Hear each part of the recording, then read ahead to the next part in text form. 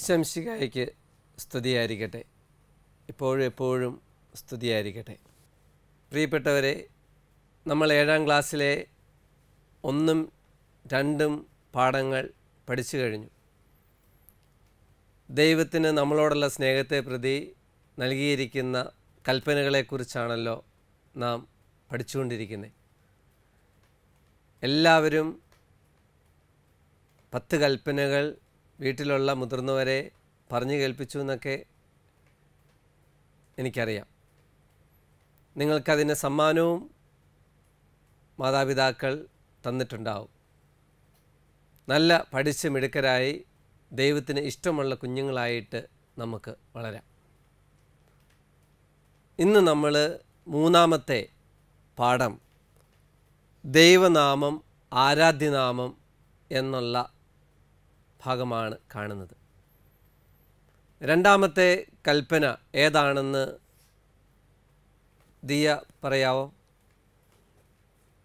ആ ദൈവത്തിന്റെ നാമം വൃത ഉപയോഗിക്കരുത്. അപ്പോൾ ദൈവത്തിന്റെ നാമം എത്രമാത്രം പ്രധാനപ്പെട്ടതാണ് എന്ന് മനസ്സിലാക്കി തരുവാൻ വേണ്ടി ദൈവം നൽകിയ കൽപ്പനയാണ്. നമ്മളെല്ലാവരും നമ്മുടെ വീട്ടിലുള്ള മുതിർന്നവരെ നമ്മുടെ അപ്പായെ അമ്മയെ സഹോ ജ്യേഷ്ഠ സഹോദരങ്ങളെ ഒന്നും പേരുകളല്ല വിളിക്കുന്നത്. മറിച്ച് ഡാഡിന്നോ മമ്മീന്നോ അപ്പാന്നോ അമ്മയെന്നോ ചേച്ചിന്നോ ഒക്കെയാണ്. എന്തുകൊണ്ടാണ് നമ്മൾ അവരെ ഔദ്യോഗികമായിട്ടുള്ള പേരുകൾ വിളിക്കാത്തത് എന്ന്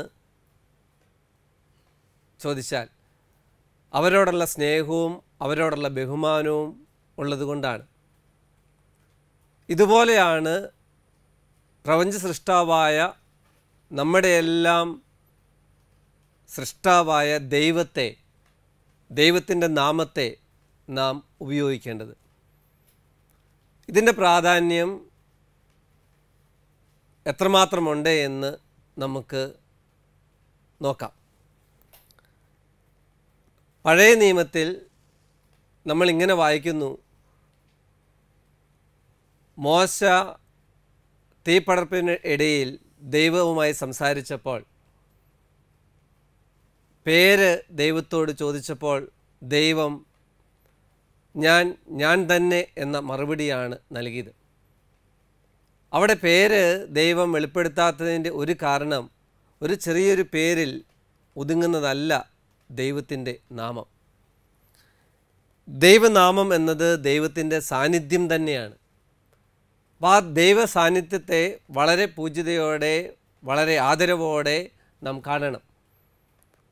നമുക്കെല്ലാം അറിയാവുന്ന ഒരു പാട്ടുണ്ട്. തിരുനാമ കീർത്തനം പാടുവാനല്ലെങ്കിൽ നാവെനിക്കെന്തിനു നാഥ?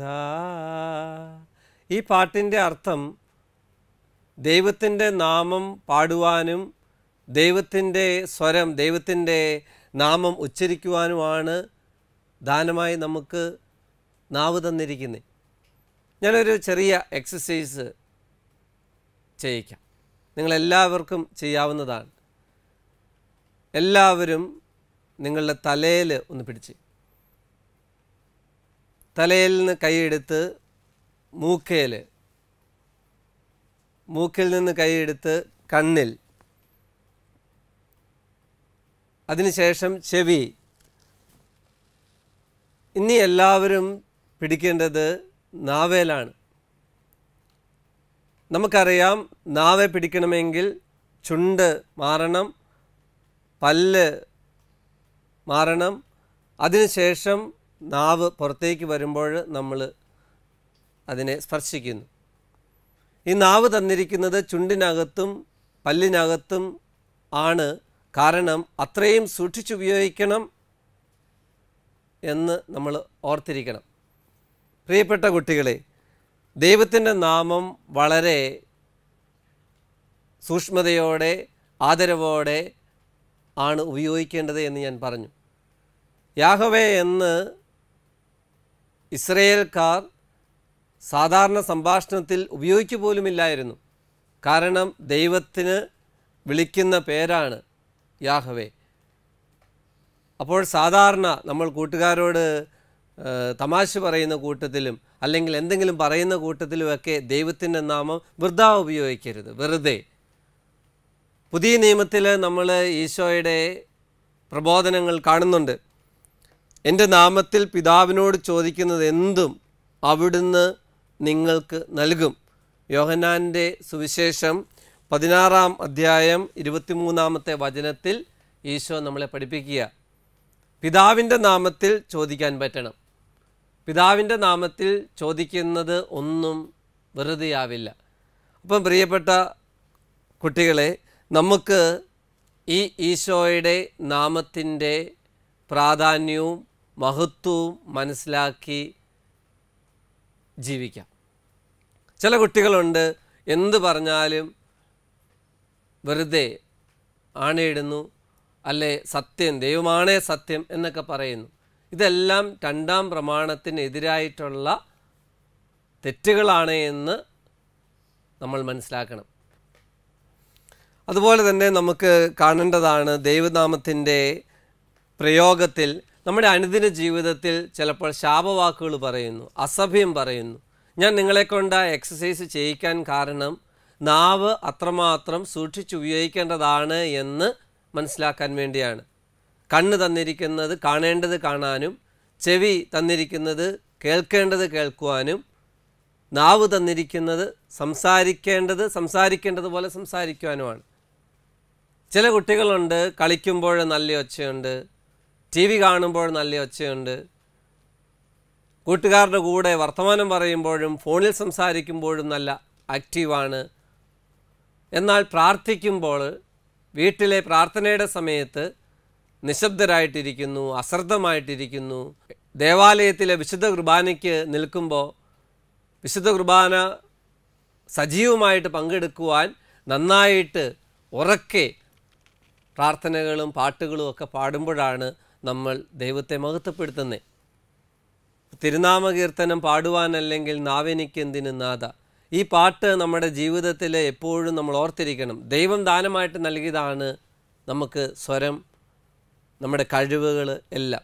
അപ്പോൾ ആ ദൈവത്തിന്റെ നാമത്തെ മഹത്വപ്പെടുത്തുവാൻ നമുക്ക് പറ്റണം. നമ്മൾ മാതാപിതാക്കളെയും നമ്മുടെ ജ്യേഷ്ഠ സഹോദരങ്ങളെയും മുതിർന്നവരെയും ഒക്കെ എത്രമാത്രം ആദരവോടെയാണ് ബഹുമാനത്തോടു കൂടിയാണ് കാണുന്നത് എന്നും നമ്മൾ ഈ അവസരത്തിൽ ചിന്തിക്കണം. ചീത്ത വാക്കുകൾ പറയുന്നത് രണ്ടാം പ്രമാണത്തിന് എതിരാണ് എന്ന് നമ്മൾ മനസ്സിലാക്കണം. നമ്മുടെ ക്ലാസ്സിൽ പഠിക്കുന്ന നമ്മൾ കാണുന്ന ചില കൂട്ടുകാർ ചിലപ്പോൾ ചീത്ത വാക്കുകൾ പറയുമ്പോൾ സാധിക്കുമെങ്കിൽ അവരോട് പറഞ്ഞു കൊടുക്കണം നീ ചെയ്യുന്നത് തെറ്റാണ്. നാവ് അനാവശ്യമായിട്ട് ദുരുപയോഗം ചെയ്യരുത്. ചില കുട്ടികളുണ്ട് എന്തെങ്കിലും കാര്യങ്ങൾ പറഞ്ഞിട്ട് സത്യമാണ് എന്നും പറഞ്ഞ് ദൈവത്തിന്റെ പേര് കൂട്ടിച്ചേർത്തുകൊണ്ട് ആണയിടുന്നത്. തെറ്റായിട്ടുള്ള കാര്യമാണ്. അപ്പോൾ നമ്മൾ ഏഴാം ക്ലാസ്സിൽ ദൈവത്തിന്റെ ഓരോ കൽപ്പനകളെക്കുറിച്ചും പഠിക്കുമ്പോൾ ആ കൽപ്പനകളുടെ ആന്തരികമായിട്ടുള്ള അർത്ഥം മനസ്സിലാക്കി നമ്മൾ ജീവിക്കണം. അതിന് നമുക്ക് നല്ല കൃത്യമായിട്ടുള്ള അറിവ് ആവശ്യമാണ്. അപ്പോൾ നമ്മൾ ഇന്ന് നമ്മൾ കാണുന്നത് ദൈവത്തിന്റെ നാമം എങ്ങനെയൊക്കെ നമുക്ക് വിശുദ്ധമായിട്ട് ഉപയോഗിക്കാം. നല്ല പ്രാർത്ഥനകൾ ചെല്ലുന്നതിലൂടെ നല്ല വർത്തമാനങ്ങൾ പറയുന്നതിലൂടെ ദൈവവചനം വായിക്കുന്നതിലൂടെ ഇതെല്ലാം നമുക്ക് ദൈവത്തിന്റെ നാമത്തെ മഹത്വപ്പെടുത്താൻ പറ്റും. ഞാൻ നിങ്ങൾക്കൊരു പാട്ട് പാടിത്തരാം. ആ പാട്ട് വളരെ കൃത്യതയോടെ നമ്മുടെ ജീവിതത്തിന്റെ നല്ല ലക്ഷ്യങ്ങളിലേക്ക് എത്തുവാൻ സഹായിക്കും. യേശു തരും ആനന്ദമത് സ്വർഗീയാനന്ദം യേശു തരും ആനന്ദമത് അതിരില്ലാത്ത ആനന്ദം. ആർക്കു വേണം ആർക്കു വേണം ആർക്കതു വേണം. യേശുവിനെ നോക്കിയിടുമ്പോൾ അവൻ അരുളിയിടും. ഈ പാട്ട് യേശുവിനെ ദൈവത്തെ നോക്കുവാൻ അവന്റെ പാതയിൽ പിന്തുടരുവാൻ യഥാർത്ഥമായിട്ടുള്ള സന്തോഷം ഉൾക്കൊള്ളുവാൻ സഹായിക്കുന്ന പാട്ടാണ് നമുക്കെല്ലാവർക്കും കൂടി പാടാം. യേശു തരും ആനന്ദമത് സ്വർഗീയാനന്ദം യേശു തരും ആനന്ദം അതിരില്ലാത്ത ആനന്ദം. അപ്പോൾ ചില കുട്ടികൾ സന്തോഷത്തിന് വേണ്ടി അല്ലെങ്കിൽ മറ്റുള്ളവരെ വേദനിപ്പിക്കുവാൻ വേണ്ടി ഒക്കെയാണ് ചില വാക്കുകൾ ഉപയോഗിക്കുന്നത് അപ്പം നമുക്ക് ശാപവാക്കുകൾ പറയുന്ന ആളുകളാവാതിരിക്കാം. സുഹൃദേവങ്ങൾ ചെല്ലുന്ന നല്ല വ്യക്തികളായിട്ട് മാറാം. എല്ലാ ദിവസവും ഉറങ്ങുന്നതിന് മുമ്പ് നല്ല സുഹൃദൈവം ചെല്ലുന്ന ഈശോയോട് പ്രാർത്ഥിക്കുന്ന നല്ല കുഞ്ഞുങ്ങളായിട്ട് നമുക്ക് മാറാം. നമ്മൾ ആരോടെങ്കിലുമൊക്കെ ചീത്ത വാക്കുകളും ശാപവാക്കുകളൊക്കെ പറയുന്നുണ്ടെങ്കിൽ നമ്മൾ അത് അവസാനിപ്പിക്കണം. നല്ല തീരുമാനങ്ങൾ എടുക്കണം. ഇനി ഞാൻ അനാവശ്യമായി ചീത്ത പറയില്ല. ഇനി ഞാൻ അനാവശ്യമായി മറ്റുള്ളവരെ കളിയാക്കില്ല. അപ്പോൾ ദൈവത്തിന്റെ നാമം പൂജിതമാണ്. ഈശോ പഠിപ്പിച്ച പ്രാർത്ഥനയിലില്ലേ? സ്വർഗസ്ഥനായ ഞങ്ങളുടെ പിതാവേ അങ്ങയുടെ നാമം പൂജിതമാകണമേ. ആ നാമത്തെ പൂജിതമായിട്ട് സൂക്ഷിക്കുവാൻ നമ്മൾ കടപ്പെട്ടിരിക്കുന്നു. അപ്പോൾ നമുക്ക് അർത്ഥം മനസ്സിലാക്കി ഈശോ പഠിപ്പിച്ച ആ പ്രാർത്ഥന ചൊല്ലി നമുക്ക് ഇന്നത്തെ ക്ലാസ് അവസാനിപ്പിക്കാം. കൈകൂപ്പി പിടിക്കാം. ശിഷ്യന്മാർ ഈശോയോട് ഒരു പ്രാർത്ഥന പഠിപ്പിക്കാവോ എന്ന് ചോദിച്ചപ്പോൾ ഈശോ പഠിപ്പിച്ച പ്രാർത്ഥനയിലെ ആദ്യത്തെ ഭാഗം നമുക്ക് ചെല്ലാം. സ്വർഗസ്ഥനായ ഞങ്ങളുടെ പിതാവേ അങ്ങയുടെ നാമം ഉചിതമാകണമേ അങ്ങയുടെ രാജ്യം വരണമേ അങ്ങയുടെ തിരുമനസ് സ്വർഗത്തിലെ പോലെ ഭൂമിയിലുമാകണമേ. പ്രിയപ്പെട്ട കുഞ്ഞുങ്ങളെ ഈശോയുടെ നാമം പൂജിതമായി നമ്മുടെ അനുദിന ജീവിതത്തിലെ എല്ലാ പ്രവർത്തനങ്ങളിലും മാറ്റുവാൻ നമുക്ക് പരിശ്രമിക്കാം. നമുക്ക് പ്രാർത്ഥിക്കാം. നല്ലവനായ ഈശോയെ ഏഴാം ക്ലാസ്സിൽ പഠിക്കുന്ന ഞങ്ങളുടെ ജീവിതത്തിൽ ഈശോയുടെ നാമത്തെ പൂർണമായും ആദരവോടെയും പൂജ്യമായും ഉപയോഗിക്കുവാൻ ഞങ്ങളെ പരിശീലിപ്പിക്കണമേ. ഞങ്ങളുടെ കൂട്ടുകാരുടെ ഇടയിൽ നല്ല വിശുദ്ധമായ ജീവിതം നയിച്ച് ഈശോയ്ക്ക് സാക്ഷ്യം വഹിക്കുവാൻ ഞങ്ങളെ സഹായിക്കണമേ. ഈശോ മിശിഹായിക്ക് സ്തുതിയായിരിക്കട്ടെ.